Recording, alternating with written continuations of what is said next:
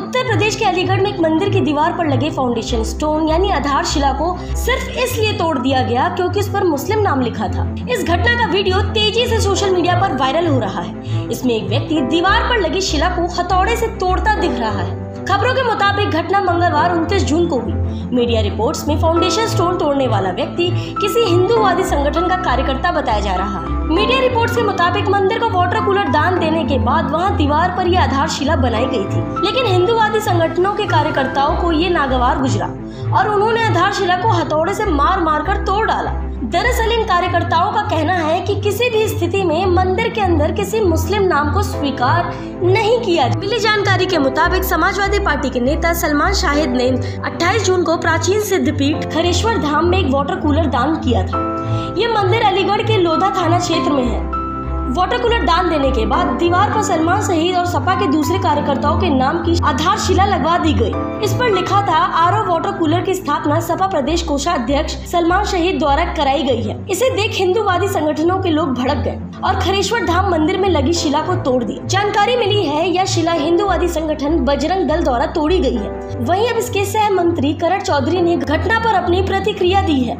उन्होंने मीडिया से बातचीत में कहा, मंदिर में पहले भी वाटर कूलर लगा हुआ था। लेकिन तब किसी का नाम नहीं लिखा गया था। करण चौधरी का कहना है, पहले भी प्याऊ लगा हुआ था। किसने दान किया? पहले नाम नहीं लिखा था। आज ये किसी मुस्लिम व्यक्ति ने दान किया तो उन्होंने यहाँ पर बड़ा बोर्ड लगा दिया, जो हमारे हिंदू रीति रिवाज के अनुसार गलत है। मैं कहता हूँ, हमारे हिंदुओं की बहुत बड़ी गलती है। हम मंदिर में मुसलमानों को आमंत्रित करते हैं। वो धीरे धीरे हमारे मंदिरों में घुस रहे हैं। इसी तरीके से मैं भी प्याऊ लगवाने को तैयार हूँ। लेकिन क्या मुसलमान मस्जिदों में प्याऊ लगवाएँगे? उन्होंने दस हज़ार का वाटर कूलर का दान किया है। मैं बीस हज़ार का वाटर कूलर लगवाने को तैयार हूँ। मस्जिदों पर भगवा झंडा लगवाए तो सही। इस तरह की हरकत कतई बर्दाश्त नहीं की जाएगी। इसका मुँह तोड़ जवाब दिया जाएगा। घटना ने तूल पकड़ा तो राजनीति शुरू होने में समय नहीं लगा। भारतीय जनता युवा मोर्चा के जिला अध्यक्ष मुकेश लोधी ने कहा कि अलीगढ़ ज़िले के अंदर समाजवादी पार्टी के मुस्लिम समाज के लोगों ने एक वाटर कूलर और अपनी नाम की शिला लगाकर अपनी मानसिकता का साफ़ परिचय दिया है, जिसके बाद समाजवादी पार्टी के पूर्व जिला अध्यक्ष अशोक यादव ने मुस्लिम द्वारा मंदिर में वाटर कूलर लगवाए जाने का समर्थन किया। उन्होंने कहा यह हिंदुस्तान की संस्कृति है।